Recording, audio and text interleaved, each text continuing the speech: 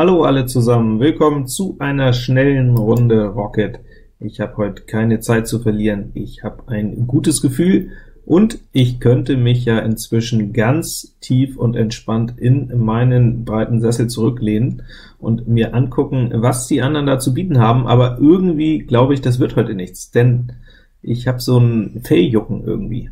Es war gestern am Clubabend, habe ich richtig auf die Rübe bekommen, eine Serie 8 zu 4, da ging irgendwie gar nichts, ständig kam da 60 raus, und ähm, ja, der eine oder andere reagiert, indem er sich ein bisschen in sein Schneckenhaus zurückzieht, nicht mehr reizt, Risiko äh, runterfährt, aber ich habe irgendwie Lust. Also ich glaube, ich werde heute ein bisschen Gas geben hier. Das heißt natürlich nicht, dass man mit gar keiner Karte irgendwie Spiele erzwingen kann, erschaffen kann, äh, mit so einem Haufen hier, äh, Scherbenhaufen, da kann ich jetzt nur mitspielen. Auf die 33er Reizung habe ich natürlich meinen Partner versucht mit Pik in Szene zu setzen, aber der ist gar nicht so stark, wie ich gedacht habe. Der hatte nur einen Buben, und gegen die Kreuzflotte des Alleinspielers war dann auch kein Ankommen. Da sind wir also mal groß und gut im Schneider geblieben. Zweites Spiel, ja, das ist dann aber schon so einer. Den Nulluver, den kann man jedenfalls reizen, Klar, die blanke Pik 9, die sollte, wenn es geht, durch eine passende Karte im Skat ersetzt werden. Idealerweise wäre das eine aus der Kreuzreihe irgendwo hier im Mittelfeld, dann ist auch kreuzdicht. Ansonsten sollte Kreuz 2-2 stehen, aber es kommt gar nicht äh, so weit, denn Spieler 1 hält die 46 gefühlt mit einem Achselzucken und spielt einen Grang. Jetzt ist es hier gleich interessant, im zweiten Stich die Kreuz 9. Kein Bube wird gezogen, nichts wird sich anmerken lassen. Also irgendwie könnte es doch wohl sein, dass der Mann drei Kreuz hat. Ne? Warum hat er sonst die Kreuz Lusche im Blatt und spielt sie vor allen Dingen im zweiten Stich aus? Dann möchte ich natürlich alle Augen rauskitzeln, auf Dame und 10 mit König und Ass schnippeln, 28 plus zwei Wimmlungen, das wären schon 50, wenn wir dann noch einen weiteren Stich machen, könnte es geklingelt haben. Kann ja mal ein Notgrang sein bei der Reizung. Und hier, ja, ich habe schon mal recht, der Alleinspieler hat die drei Kreuzen, mein Partner hat wohl nur den Karo Buben, sonst käme er nicht auf die Idee, hier einzustechen. Und jetzt bin ich doch mal gespannt. Pik 10 ganz offenbar bei meinem Partner. Ähm, ich kann jetzt schön noch die blanke Herz abschmeißen, also das wird doch jetzt ein heißer Ritt. Ja, habe ich gedacht. Und dann klappt die Karte auf, und der Alleinspieler hat Rest und hat zwei Kreuz ganz offensichtlich schon gedrückt.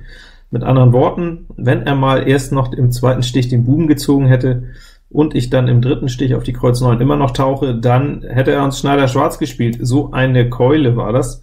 Da brauchte ich mir also mit meinem Nulluver wohl auch wirklich gar keine Gedanken machen. Ja, schöner Start, würde ich sagen, äh, und das ist dann mein erstes Spiel. Ah nee, doch nicht, habe ich mich wohl verguckt. Ähm, muss ich noch ein bisschen abwarten.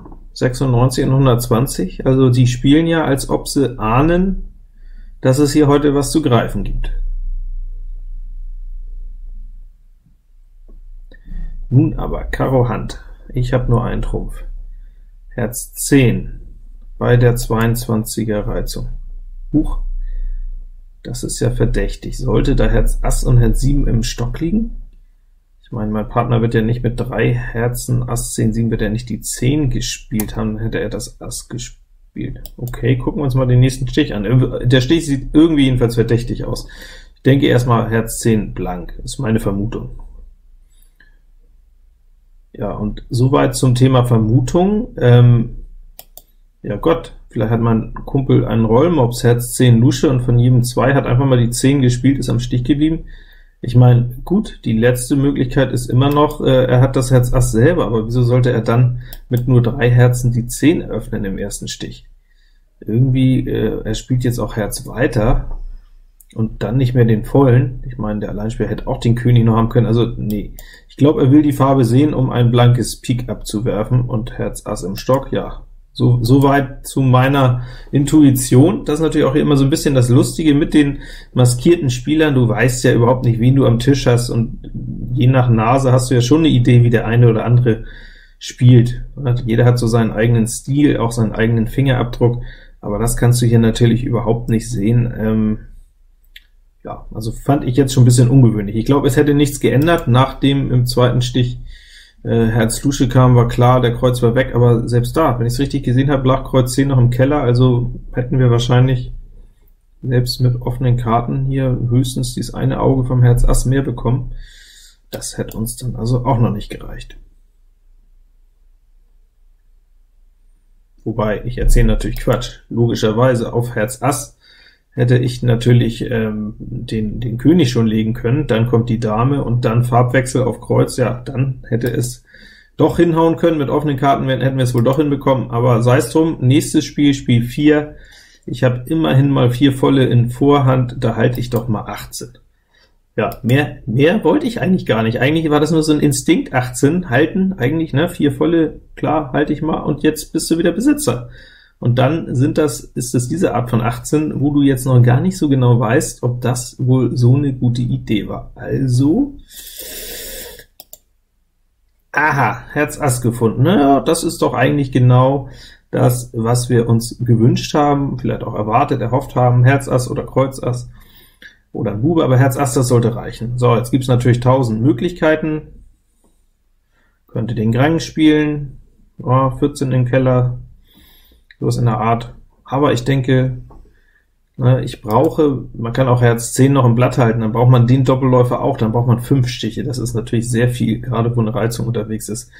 Also ich drücke ihn lieber so mit 14 runter. Jetzt ist natürlich das Problem, wenn wir mal einmal durchzählen, Herz Ass läuft 25, Pik Ass läuft 36, Karo Ass und 10 müssen natürlich auch laufen. Ein Pflichtbild, die Dame 60. Ja, also wenn es gut läuft, wenn es dumm läuft, mache ich die vier Stiche und komme trotzdem auf 60. Aber es gibt natürlich haufenweise Chancen. In Karo könnte ich den König fangen, in Herz könnte ein Bild blank stehen, und in Pik könnte es die 10 sein. Und zusätzlich spiele ich eben einfach mal nicht den Grang, um noch so ein letztes bisschen extra Chance rauszukitzeln, sondern nur den Kreuz, denn da kann ich selber eben mit Trumpf erstmal vom Stich gehen, und dann müssen die anderen erstmal antanzen. Und bei diesem Antanzen kann es ja schon mal passieren, dass aus Versehen ein Bild zu viel liegt, ein Auge mehr angeboten wird als nötig, zum Beispiel in Herz. Gut, nun komme ich in äh, Mittelhand, das ist natürlich nicht unbedingt für diesen Plan günstig, und da kommt auch eine Herzlusche. Naja, gut, also schnippeln kann ich mir jetzt natürlich nicht erlauben, und jetzt kann ich mir, jetzt kriege ich auch das Bild leider nicht aus Hinterhand, ähm, noch einen Trumpfzug kann ich mir natürlich jetzt auch nicht erlauben, dann kommt womöglich Herz hinterher und es wird abgeschmissen. Also jetzt heißt es dann doch Augen zu und durchgaloppieren, 25 liegen. Ja, starten wir mal mit Karo, würde ich sagen. 36, jetzt wird's interessant. Ah, da ist der König auf 50, 50. Jetzt bitte nur noch einmal das Pik Ass durchwinken, und na siehste, war überhaupt nichts los, keine Gefahr, Pik 10 sogar noch auf 71, die hätte ich natürlich gar nicht mehr gebraucht. 61 wäre sogar, ja, ein bisschen spektakulärer. Letztendlich läuft's aufs Gleiche hinaus. Der Krang wäre natürlich auch gegangen, also ein Anschlussspiel. Ja, wenn die anderen so teure Spiele machen, Gang mit zwei Schneider, Gang mit drei Schneider, dann muss ich mal ein Kreuz ohne sieben dagegen setzen. Und da haben wir Spiel 5. Das sieht doch wieder aus wie ein Nulluver. Ich meine, Karo 10, die soll natürlich weg. Pik Ass zu viert könnte was passieren, Kreuz 8 blank könnte was passieren, aber mein Gott, das muss ich wohl riskieren. 27 wird in Vorhand gereizt, das ist ja an sich erstmal erfreulich, dann vermute ich mal, dass schon viele Karos verteilt sind und ich eher in meine Farben was reinfinden kann, kommen aber wieder nicht ans Spiel gegen Spieler 1. Zumindest macht es hier nicht den, den Eindruck. Bei 44 zögere ich mal so ein bisschen, kleine Bedenkenspause, um meinem Partner das Pik Ass zu zeigen, aber da bin ich dann plötzlich unerwartet bei 45 doch dran. Das ist jetzt eigentlich komisch. Hat der etwa auch Karo gereizt oder über Pik rüber? Also ich meine, warum haben beide Karo gereizt? Manchmal kann man sich's nicht erklären, ist ja auch egal eigentlich, ich nehme jetzt auf, das ist der Pik Bube, das ist die eine passende Karte, die ich schon mal brauche, um Karo 10 zu drücken. Kreuz 10 hat jetzt natürlich nicht ganz so gut gepasst, aber mit einer blanken Kreuz 8 in der Flosse, keiner hat Kreuz gereizt. Naja, da sind wir doch wohl wohlwollend, vorsichtig, optimistisch, dass das Ding jetzt durchgeht. Da Pik, guck mal, Pik ganz harmlos, da will jemand einen Abwurf. Ein Abwurf ist nur möglich, in Pik jedenfalls, dann sind alle Piken weg, und da wirft er Herz ab. Na, ist doch wunderbar, und da kommt schon die Kreuz 7. Aufgabe? Ja, na, Aufgabe für mich, Der Mann hat sechsmal Kreuz in Vorhand. Ja, wie ist denn das wieder zu fassen? Mit der Kreuz 8 sofort gegriffen, dann hätte ich ja sogar in Vorhand verloren, mit Kreuz 8 im Aufspiel. Tja, okay, ich würde mal sagen, äh, Terrain, die Liste will mich wohl mal wieder flachsen. Das erinnert mich ja fast ein bisschen an den gestrigen Clubabend, da ging das auch so im Ping-Pong, eins gewonnen mit Mühe und Not, dann wieder eins chancenlos verloren, eins mit Mühe und Not gewonnen, dann wieder eins völlig chancenlos verloren, einmal gut gefunden, trotzdem verloren, und dann nach schlechter Findung noch mal einen auf dem Helm. Na gut, mal gucken. Äh, erstmal war das ja nun das erste, aber es verheißt irgendwie nichts Gutes. Erstens ist die Liste schon fast rum, und zweitens haben die anderen schon fast beide 300 liegen. Hm. Da kann man wirklich sagen, gut, dass ich schon qualifiziert bin. Jetzt gehe ich mal in den Genießermodus und sage, na, ihr könnt mir gar nichts, ihr könnt mir an die Füße fassen. Äh, stimmt aber natürlich auch nicht. Ich habe ja noch diese kleine Seitenwette. Wenn die Jungs mich schlagen, dann muss ich auszahlen. So, was habe ich denn jetzt hier eigentlich gemacht? Ich hatte kein gutes Aufspiel, ich habe Herz getroffen, Stechfarbe, nochmal rangekommen. Ich will natürlich irgendwie, wenn es geht, meine blanke Kreuz 10 gleich noch auf Trumpf loswerden. Ja, deswegen darf ich die natürlich nicht ausspielen. Ob das natürlich klappt, jetzt noch mal eine kleine Übergabe in Herz, ob ich, ja, schwer zu sagen, Chance gar nicht so groß.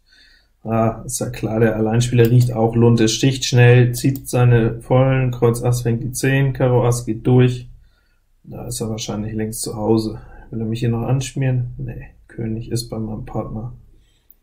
Ja, wunderbar, haben wir Rest, aber reicht uns natürlich nicht mehr. Reicht uns nicht mehr. Hm.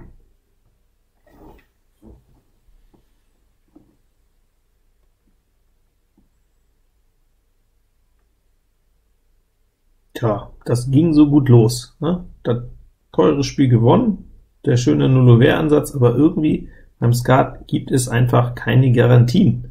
Von einer Sekunde auf die andere äh, bist du am Haken und dann zappelst du und willst was tun und dann kommt natürlich keine Karte. Kannst du nichts tun.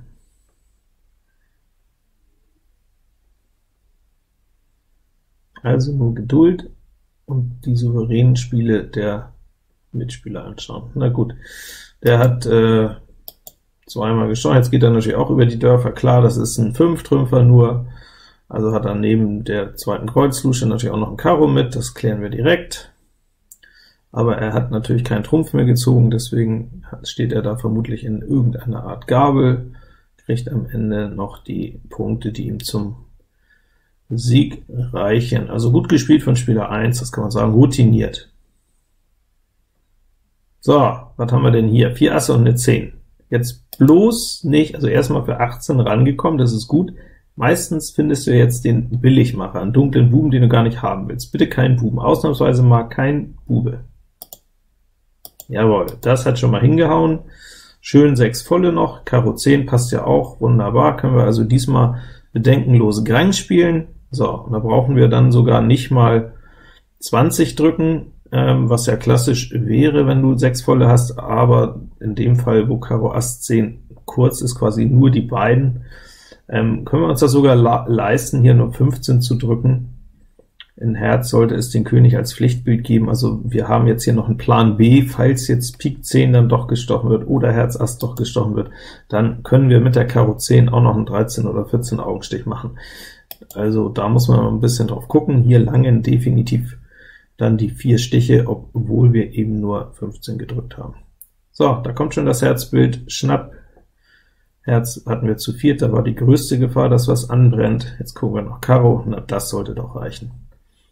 So, damit bin ich jetzt schon zu Hause, und zwar stehe ich jetzt schon ähm, so weit, dass ich, wenn ich die Kreuz 10 erschnippeln kann, sogar das Spiel noch Schneider gewinne, trotz fehlender Herz 10. Also wenn der Schnitt in Kreuz gelingt, wenn ich da die 24 Augen noch einfahre, dann wird es Schneider, deswegen äh, jetzt hier mal der Bluff mit der Herz Dame rausgehen, das hat auch schon mal hingehauen, Karo Bube sticht, ähm, jetzt muss es natürlich ein bisschen glücklich laufen, ja, das tut's hier natürlich nicht, es kommt der letzte Karo an Bord, und damit kann einer Kreuz abschmeißen. Pik wäre übrigens schön 2-2 gestanden, aber sei es um die vier Augen machen den Kohl nicht fett. Es fehlt jetzt halt noch ein Bube und nur drei Kreuz, weswegen jetzt äh, der Schneider dann doch nicht mehr möglich ist. Na gut, das wäre dann auch vielleicht sehr viel oder sehr optimistisch gewesen. So, 174, das war ja nochmal ein Anschlusstreffer. Jetzt also am Ball bleiben, nachsetzen, mit einem Spiel könnte ich den ersten schon wieder überholen, und da sind drei Asse und zwei Buben, und eine 10, und für 18. Ah, das war jetzt aber natürlich Müllfindung, definitiv Müll, äh, vor allen Dingen noch zwei Bilder, und in so einem Fall willst du ja nicht unbedingt noch diese ganzen Bilder im Blatt haben, die du hinten raus abgibst, da hast du ja lieber Luschen und schnappst die Bilder von den anderen, das können hier die entscheidenden Punkte sein. Tja, man kann natürlich auch 10 Augenkreuz drücken, oder sogar die Kreuz 10 im Blatt halten, aber das ist dann sehr verwegen. Jetzt habe ich das Bild in Herz mitgedrückt, ähm, ja, in der Hoffnung, dass ich mich mit diesen Bildern hinzähle. Und falls ich jetzt irgendwo angespielt werde, dann muss ich nicht mal Bube ziehen, dann kann ich auch einfach die drei Asse ziehen und dann mit der Kreuz Lusche vom Stich oder mit Karo Dame vom Stich versuchen, noch einen Karo Stich hochzuspielen, sowas in der Art. Aber natürlich, wie es dann so ist, hm, jetzt kommt Kreuz raus, und das ist natürlich dann jetzt doch unangenehm oder maximal dusselig, sagen wir mal. Jetzt hätte man die Kreuz 10 natürlich gerne oben oder gerne direkt 10 Augenkreuz gedrückt. Sei es drum, 13 im Keller, Kreuz König jetzt abschmeißen ist eine schlechte Idee, auch wenn hinten noch bedient wird, weil dann kommt wahrscheinlich der siebte Kreuz. Dann lieber so auf 19. So, mit den drei Assen wären das dann schon immerhin äh, 52. Äh, mit dem Buben wenn nur ein Bube kommt, mindestens 56, wenn ein anderer Bube kommt, also schon 58, dann müsste man, also wenn die Buben kommen, brauche ich eigentlich dann nur noch ein, ein Bild Karo Dame hochspielen, also von daher denke ich, äh, ja, Bube ziehen, wenn die kommen, hast du sofort gewonnen. So, dann kommen sie natürlich nicht. Bäh. Spieler 1 wirft ein Karo ab, okay, ich brauche irgendwie dann noch ein bisschen Bilder, ein bisschen extra Futter. Ähm, ja, gehe ich mal von aus, dass Spieler 3, der den Buben hat, jetzt in der bestellten Karo 10 steht, Spieler 1 jetzt noch ein Karo mit hat, deswegen einmal unter durch, das kann ich mir, denke ich, erlauben, und danach kann ich dann ähm, nach dem Karo Ass, oder was auch immer, danach werde ich ja irgendwo erstmal sehen, wie es weitergeht, wenn er irgendwo eingespielt, kann dann Karo vorsetzen und komme hoffentlich noch mit Pik dann am, im Endspiel in den Schnitt, um das extra Bild zu holen. So, erste Überraschung, Spieler 1 hat die Karo 10, hat also aus der 10 Doppellusche abgeworfen, das heißt Karo Ass wird dann wohl jetzt nicht mehr laufen, das wird Spieler 3 stechen. Okay ist noch nicht unbedingt verloren, das Spiel, obwohl es jetzt natürlich langsam ein bisschen kritisch wird, wo ich nun auch ausgerechnet ins blanke Herz Ass gespielt werde. Den siebten Kreuz habe ich auch noch nicht gesehen. Hat Spieler 1 vielleicht aus nur Kreuz Ass König aufgeschlagen? Wäre denkbar. Jetzt kommt es halt darauf an, wenn Spieler 3, der die Buben hat, auch noch die Pik 10 hat, dann werde ich das Spiel wahrscheinlich wieder gewinnen, es sei denn, er kann auf Herz nach vorne wieder spielen, so oder so, wir müssen uns das jetzt mal angucken. Ja, erstmal da ist der letzte Kreuz, und da geht die Pik 10 rein. Das war ja ein komisches Ausspiel aus nur Ass König, aber ausgerechnet in dem Fall ist es mir jetzt zum Verhängnis geworden. Die Karte stand jetzt für mich maximal schlecht, die Buben zusammen, Kreuz kam raus, aus dem Zwilling nur, dann blankes Herz Ass getroffen. Ja, ich weiß nicht. Das ist so ein Rang, meistens funktioniert er, aber wie wir hier sehen, nicht immer. Oh, Habe ich ihn nun schlecht gespielt, hätte ich auch von oben ziehen sollen, gut, langt mir für sich erstmal auch noch nicht. Also, naja, ein bisschen unglücklich halt, den spiele ich immer wieder, da machen wir keine Gedanken. Ah, aber guckt euch das an, ärgerlich, jetzt kommt doch noch Material. Den hätte ich ja jetzt auch noch gereizt, wenn ich nicht so mausetot jetzt stände, aber bei zwei verlorenen ähm, habe ich jetzt kein Interesse, da können die anderen gerne auch noch mal spielen. Das dritte ist übrigens auch ganz schön teuer geworden, hier äh, Abreizgeld aus Disziplinargründen, kostet das glaube ich dann schon zwei Euro oder so, das äh, riskiere ich dann auch nicht mehr. Ja, und dann guckt man sich eben ein Null an, mit drei Assen und einem Buben und einer Zehn, vier volle und einem Buben und ich, wir müssen Null spielen. Ist das nicht manchmal, uah, vielleicht hätte ich doch mal reizen sollen. Also Null wollte ich ja nun nicht sehen, jetzt Herz 7, was ist das denn für ein Zug? Abwurf Pik 9, ich denke, das war's, da geht wohl nicht mehr was. Sei denn, er hat jetzt die Hand voll Piken, will uns äh, mit der 9 schon bluffen, hat trotzdem noch 10 König, weiß ich was, in Pik 4 Stück oder so. Das gucke ich mir mal einmal an, aber dann hätte mein Partner wohl auch den Blanken gespielt. Ne. Ja Mensch, das war ja irgendwie nix. Naja,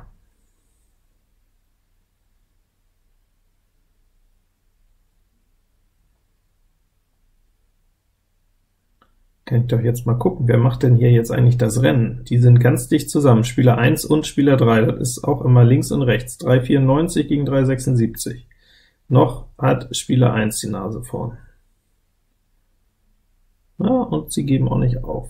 Sie duellieren sich, ich sag mal, ich ziehe mich zurück an die Seitenlinie und guck mir das jetzt noch mal an. Da kannst nichts machen. Und eben im Chat, da haben sie es noch geschrieben, zieht der Meerjungfrau die Flossen aus, reicht ihr Schwimmflügel in jeder bedenklichen Art und Weise. Wurde ich da schon gedisst? Ja, äh, eigentlich wollte ich da den äh, ja, den bösen Zungen heimzahlen, aber das hat nichts gebracht, das hat nichts genützt. Gut, ich meine, dieser Pik hier, das seht ihr, der wird ja völlig chancenlos äh, beerdigt, der musste, hat Herz 10 bestellt und Kreuz Ass zu dritt hohl, also der hat gegen meine 4 Trumpf Farbe frei keine Chance, obwohl er Herz 10 heimkriegt. Damit würde ich sagen, hat Spieler 1 hier die Initiative, und jetzt kriege ich noch mal zwei Buben und drei Asse. Meine Güte, wo hätte ich sein können, wenn ich denn diesen Grang irgendwie anders spiele oder drücke? Wo hätte ich sein können? Spiel 10 hätte ich sie auch noch gemacht, und ansonsten, wenn du jetzt noch den Nullo Verso rausrechnest, nach dem Motto im Nachhinein, den hätte man vielleicht nicht reizen sollen, da hätte ja ein Bombenergebnis rauskommen können. Hätte, hätte, und in der Realität äh, irgendwie so was wie 3 zu 2 oder so ein Murks. Na gut, und dieses Ding muss er ja auch erst noch mal gewinnen. Da kommen sie schon wieder unter den Assen raus. Ich bin jetzt mal trotzdem optimistisch, dass Trumpf ordentlich steht, das stimmt auch. Ja gut, aber wir wenigstens jetzt noch mal versuchen, ob wir den Schneider kriegen. So, Trumpf ist raus, es fehlt nur noch ein Kreuz, das, der sitzt bei Spieler 1, der gerade hier Herz Lusche abgeworfen hat, also wahrscheinlich hat äh, Spieler 3 noch mindestens zwei oder drei Herzen. Ich kann hier also einen unter Durchzug mehr erlauben, selbst wenn Spieler 1 rankommt, kann er nur noch das Kreuz Ass ziehen. So muss aber die Lusche bedienen, alles wie geplant. Dann verabschiede ich mich hier mit einem Schneiderspiel in den Feierabend, und was sehen wir noch? Ja, Spieler 1 hat's gerockt, 434, Spieler 3 282, auch schon eher schlapp, und ich nur 150, na ja, alles versucht, viel in die Hose gegangen, experimentieren ist aber beim, beim Skat auch die halbe Miete, hat also Spaß gemacht, und äh, dann freue ich mich schon auf das nächste Wiedersehen mit einem neuen Video, diesmal hoffentlich wieder am Wochenende. Bis dahin, wie immer, gut Blatt.